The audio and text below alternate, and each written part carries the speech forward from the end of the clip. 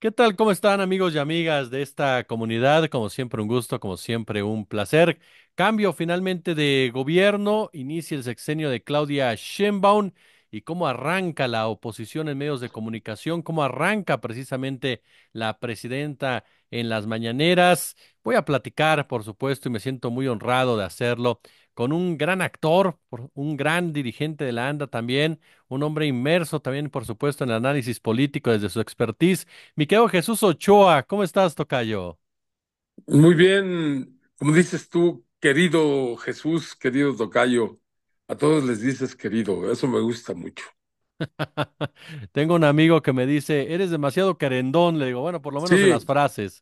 no, pero sí, sí necesitamos eso, ¿eh? De veras, de veras, sí. Gracias, hermano. Aún, aunque uno sea temperamental, Oye, querido no tocayo, pues yo, dígame. come- yo comenzaría preguntándote, ¿cómo, s- cómo has sentido este, este cambio de, de gobierno, particularmente, te lo digo, para ir fase por fase, en medios de, de comunicación? ¿Cómo has sentido el trato que se le ha dado a la presidenta Claudia Sheinbaum en comparación con Andrés Manuel López Obrador? ¿Crees que hay algún tipo de diferencia? ¿Ves prácticamente lo mismo? ¿Cómo lo ves? Mira, la, de veras. No es, no es insulto en cuanto a la ¿Para qué hablar, pues, de quienes la apoyamos, ¿no? Es, es lógico, es hermoso para mí ver a, eh, el día primero a Ifigenia y a Claudia allí, junto con el Tata, pues, eh, te lo juro que en Claudia había a mi hija y en Ifigenia había a mi mamá, a mi mamá. Se me vino así de esa imagen, me atropelló, ni la imaginé siquiera, pues, pero eso para mí, bueno, es más, ya cuando soltó el, el, eh, cuando hizo el juramento, el, eh, eh, ahí frente al Congreso de la Unión, pues, ya no aguanté, no quería hacer el ridículo chillando y me salí, te lo juro, o sea, no, no pude, andaba. Además andaba hipersensible también desde hace como cuatro o cinco días que me había caído el 20 de que se iba Obrador, pues en serio, además que lo pensé, lo entiendo, sé todo, fue un, eh, no sé, un, algo eh, incontrolable, me explico de, pero además, de veras te lo digo, que es como si fueran sus lágrimas, nunca lloró él, ¿eh? Nunca, y, y estuvo a punto algunas veces en la mañana se le atragantaba así el choto con el rollo de sus hijos. eh, esa naturaleza de padre, pues cuenta sobre el, este, la, la Payán, que una vez fue por sus hijos, no no sé si un peligro, etc, etc. Imagínate pues todas las que pasó en ese sentido, ¿no? Si, si yo, que estuve cuatro años nomás en la ANDA y sabes pues lo que es estar en eso verdaderamente. Y es muy fácil a, a todos nosotros decir estoy contigo sin hacer, pues, me explico, sin hacer algo, sin la acción. Y lo que demostró y hereda Claudia, y qué necios en querer que no, que pinte su raya, ¿no? Ya no me acuerdo ni qué me preguntaste, tocayo, pero es que me sigue ganando la maldita emoción, de veras, y incluso la reacción que tuve ahí después de salir del Congreso fue también en ese sentido, ya pedí disculpas, etcétera, y No represento a nadie más que a mí y mi familia, como lo digo, y desde ahí pido esa disculpa hacia esta persona y a su teléfono. Y mm, Oye, pero esto que comentas, eh, te lo digo porque yo lo veo en la audiencia, hay mucha de la gente que nos está viendo ahorita, no ah, me por ahí dejará venía la mentir. pregunta, ahí ven- por ahí viene la Eh, pregunta. sí. la gente la gente se, se siente así, es decir, no es una cuestión de, y eso, porque la gente me lo ha dicho, de rechazo a Claudia, sino es ese sentimiento de la falta de Andrés Manuel López Obrador, eh, porque es un personaje que, ojo, Sí, estuvo seis años en el poder, tocayo, pero ¿cuántos años no llevamos hablando de Andrés Manuel Mínimo López 40, Obrador? mínimo 40, O sea, es mínimo un, 40. mini- o es un personaje que marcó la política. es un personaje primero que resistió Así es. y que en 40 años no le pudieron poner una mancha a su honestidad, para empezar. Y para acabarla ahora sí de chingar su proyecto, me explico, su... Yo le voy a eso porque él también enseñó que no era él, sino su proyecto, y eso es lo que hay que pensar ahora. Por eso yo jamás me seré militante de un partido político, ni de un cargo de gobierno. Para mí, como siempre lo he dicho, go- gobernar debería ser un castigo, si nos portáramos bien. El que se porte mal, ahora el que va a gobernar, a ordenar, todo el pedo allá. No, no me llames así, vas de diputado, no, por favor. Sí, que eso es muy cierto. Sí, Yo, ¿qué es lo que tú, re- qué, qué es lo que tú crees o piensas que define, como dices, un hombre que resistió? Pero, ¿qué define estos seis años de, de Andrés Manuel López Obrador para ti en ese sentido? para mí es que es muy, es tanto que, bueno, desde lo personal hasta su obra, pues, y, y, y- e incluso discurso en ese sentido, o idea vertido en un discurso, quedan muchas cosas, pero me voy a ir a, porque esas ya todos las sabemos, los que dije anteriormente, me voy a algo que no se sabe y creo yo, pensando en algo, a sus frustraciones. Pero un luchador así, sus frustraciones son batería, son, es, energía. Solamente así no puedes, eh, el fracaso lo conviertes en otro camino al éxito. Solamente así, si no, te hundes. Si no aprendes del fracaso, el éxito, en el éxito se, se goza, no se aprende mucho. En cambio, en el fracaso sí. Y para evitar el fracaso es convertirlo en otra cosa.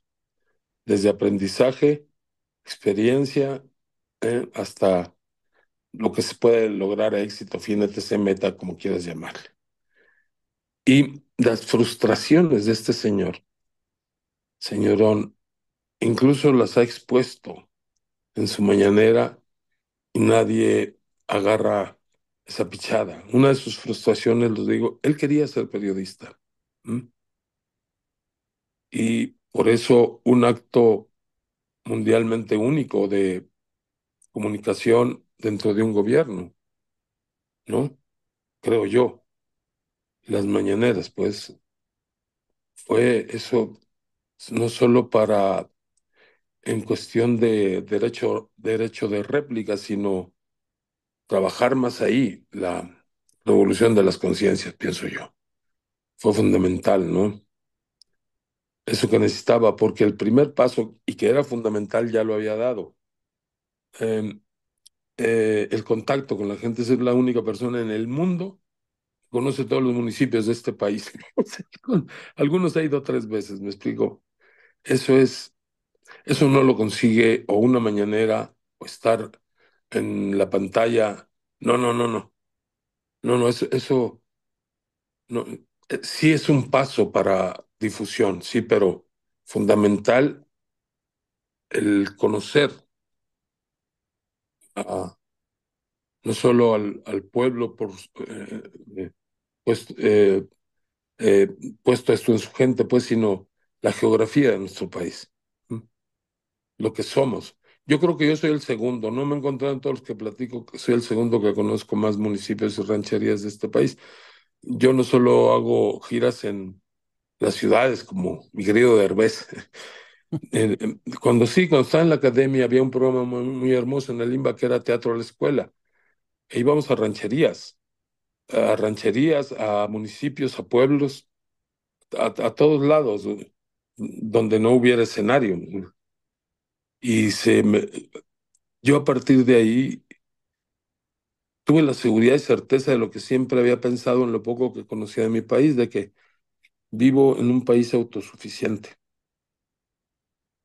Totalmente, me explico, ver correr el Grijalba, yo que soy de Sonora, de la aridez, de conocer los dos golfos, y no te incluyo, Es eh, tener el mejor mar del mundo como el mar de, el Golfo de California, dos océanos, eh, sierra, selva, desierto, ¿cuál quieres? Apúntenle todo. Un altiplano que es una región única en el mundo en la que no se necesita eh, clima artificial. Única, yo no conocía otro, explico, otra, no he conocido, pues sí, no he viajado mucho, pero he viajado, y una región así, es- puede ser, es impresionante. Claro. Imagínate la- cuando estaban aquí los, nuestros pueblos originarios, claro. imagínate eso, lo que era. ¿Por qué chingados destruyeron nuestras pirámides? Había mucho espacio, carajo. Sí, Hasta les hubiera dado más dinero, eso, me explico, qué, qué tontería, qué, qué Acabo de ver ahorita la entrevista al ingeniero militar. Le acaban de dar el premio al AIFA. No, no, qué, qué bonito. Sí. Bueno, y quedándonos en el- la cuestión de, ah, volvamos a la primera pregunta, pues, y recomendar eso, aparte de, ya vemos que la oposición lleva cuatro meses diciendo tenemos que reflexionar hacia adentro. Cuatro pinches meses. Y, y bueno, ya entendemos con esto que No es que no van a reflexionar, sino que no saben reflexionar. Un consejo si no quieren reflexionar, porque va a estar muy cabrón que proyecten o promuevan un proyecto superior a este. Aparte que no se les ve altura. Empiecen así, saliendo de su oficina, de su casa y la chingada, denle la mano al que se encuentra. No importa que no se la den. Si no se la dan, no importa. Y si se la dan, intente un abrazo. Ahí, ni siquiera hable, ni diga, ni la chingada. Me explico, no nos hagamos pendejos. Eso. ¿Mm? Claro. Creo, creo, pues, eh, Oye, desde tu óptica, a lo mejor es una pregunta media muy, óptica, media óptica, mi gente. desde tu media óptica, Sí, uno no este, funciona por ahí, no, no, no averiguas cuál es. no te parece. Los retos de Claudia, o sea, ya lo mencionabas, emotivo, sin duda alguna, el discurso emotivo, el momento. eh, ¿cómo ves lo que viene con Claudia en comparación a cómo recibió el país Andrés Manuel? O sea, recibe la casa con el piso limpio, pues, o sea, con tutti el power. Eh, Andrés lo dijo, yo soy blandito, yo soy fresa. Y es cierto, Claudia es jefa. ¿Eh? Es como mi mamá, que con una mirada, "Ech, aguanta. Es más, mucho más directa, pues, y aparte de su conocimiento, la conozco, sí, y Y sí le creo que sea una buena persona humana, se lo creo, una buena persona, se lo creo a Obrador, una persona con buenos sentimientos. Campeón viene de lucha social más, eh, más eh, cilindrinaje científico de alto pedorraje, ¿no? Sí. Pues dos administraciones, ninguna la puedes tachar de brutalidades, sino más bien es de ver su funcionalidad, su Recuerdo muy bien cuando a mí, en el sentido de mm, cómo me aclaró Andrés Manuel las cuestiones de a veces decidir entre principio e inconvenientes, ¿no? ¿Cómo debes desde tu principio decidir entre inconvenientes? Eso es ahí, pues, eso es parlamento, eso es, yo creo, gobernar, eso es... A mí me, me caga que digan que el héroe es Yunes y los demás que votaron de, de- de- del movimiento, pues que eso es lo, el juicio, me explico, está cabrón. Y, y siguiendo la nota en ese sentido, mucho del medio de comunicación no habla de lo otro, ¿no? De todos los que dijeron unidos, unidos. Era lógico que se tuviera que negociar un, un- una firma más o un voto más, o no sé, ¿me explico. Pero hasta nosotros nos pusimos, o sea, la hicimos más de pedo que con Mayer.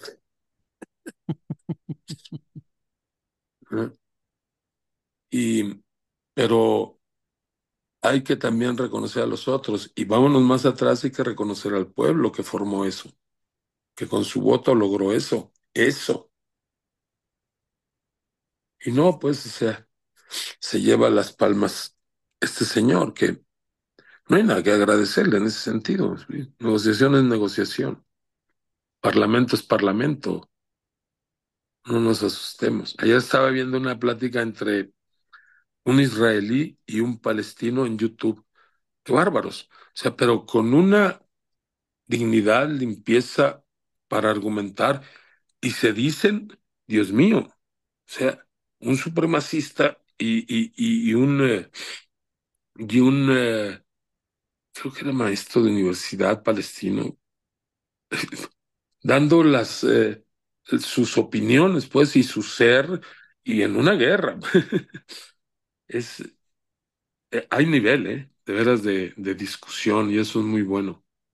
Nos falta eso, tocayo, es decir, cuando vemos, por ejemplo, una discusión como la reforma judicial, eh, nos No, topamos con una persona que se pone a gritar, di bien mi nombre bellaco, otro personaje que empieza a pedir perdones por las cuestiones de la y, parroquia.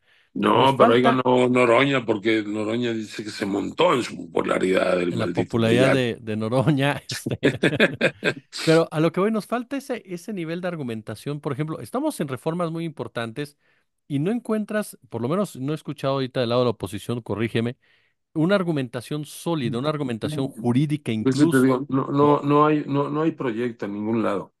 Y lo importante fue que yo más que pedir eh, este altura en la discusión en los mm, en las cámaras o, o en los eh, o en la Suprema o en el INE, etc., ya se dio en el pueblo. ¿eh? Quien no crea que manda el pueblo está loco. Porque además, mira, la conjunción que hizo Andrés Manuel al decir pueblo uniformado, de alguna otra manera le dijo a la casta militar o al, me explico, esos son, ¿eh? El ejército ha sido vilipendiado, sí, usado, es cierto, eh, de una manera muy burda, y, pero si vemos el pueblo y el ejército se han unido en tragedias, no han aceptado unirse con políticos, ni medios, ni nada, se han unido pueblo y ejército. Ahora el ejército y su base, pues, sabe que son pueblo uniformado y el pueblo sabe que se puede uniformar por si se les ocurre algo. Eso es fundamental, me explico, esa aparte de dignidad de pueblo, es darle la verdadera democracia, que es el pueblo manda, man. el pueblo manda, no, no, no hay de otra, pues eh, hay, tal parece que la oposición no sabe ni contar al creerse mayoría. Si fuéramos como ellos, la mayoría, estaríamos muy a toda madre este, este país, no hubiera ni pobres. Muy cierto. Y Oye, siguen instalándose ahí, pues. finalmente, este punto que acabas de tocar, el tema del pueblo, ¿cómo ves o cómo sientes que continuará esa esa concientización del pueblo? ¿Hacia dónde hay que ir ahora, desde tu perspectiva? Eh, ya sin Andrés Manuel, por supuesto, públicamente como un líder, pero ¿hacia dónde va ahora el pueblo con esa, con el obradorismo como tal? Eh, Sí, mira, Obrador bien lo sabe, no sé si le entendieron, que si se quedaba, se iba. Claro, Yéndose es como se queda. claro. Sí, pues, o sea, es, es, es imposible echárselo, para bien o para mal, eh, quitárselo de encima, de la mente, de, del recuerdo, de ¿para qué? ¿Por qué? Carajos, me explico. Están, están pidiendo eso en ese sentido. Incluso al, al pedir que se vaya, que se vaya, ya la chingada, como dicen, hace que se quede más acá y, acá, acá. Sí, No entienden eso. ¿Por qué? Creo yo, porque la oposición le ha cargado a peyorativamente eh, clasista y racistamente y, ¿cómo se dice? Eh, Es una, cuando lo ignoran a alguien, cuando lo... Eh, al pobre ser pueblo. Para ellos eso es la discriminación, perdón. ¿Eh? O sea, pueblo, o sea, es pobre, ¿no? Bueno, acuérdate, Xochitl dijo, a ver, ¿qué es pueblo? ¿Qué es pueblo? Eh, eh, Margarita Zavala eh, propuso que se quitara la palabra pueblo en los discursos. Mm, Acuérdate, o sea, que, pe- pero lo que no saben también, pues, que ese pueblo pobre se echó a las espaldas ese orgullo y ese honor. ¿Eh? Dice, échenmelos, yo sí quiero ser eso, que ustedes desprecian. Creo yo, pues, yo soy mexicano y soy pueblo mexicano, pues, o sea, creo que tú también y creo que todos, pero hay, a- hay alguien, y muchos, a los que no les gustan y a los que se creen españoles, monar. Sí, sí, Oye, pues, eh, oye, querido Tocayo, yo te agradezco muchísimo estos minutos para nuestra comunidad. Es un verdadero honor y placer platicar contigo. igual, mi Jesús, y de nueva cuenta una disculpa por mi alteración. Eh, también al chavo este le dije, estoy esperando su respuesta, a ver si nos vemos, me contesta por qué lo hizo, platicar sin broncas, pedirle directamente disculpas eh, o ofrecerle, como se diga, y, y este, si algo le pasó a su teléfono, pues eh, correr con los daños, pues, y, y nada más sabiendo que la primera víctima es él, si lo utilizaron por su necesidad. Claro. Muchas gracias, querido Tocayo. Un gran abrazo a todos y ahí viene la jefa, va a estar muy bonito porque ya nomás nos queda accionar, no pelearnos.